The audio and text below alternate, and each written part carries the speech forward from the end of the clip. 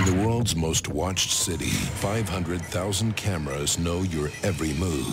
This is a major incident. Now, the largest terrorist attack in the country's history has exposed a conspiracy. He was a double agent. The government will do anything to hide. We're being watched. From the producers of Tinker Tailor Soldier Spy. What the hell have you got yourself into? The only way out is to find the truth. Closed Circuit.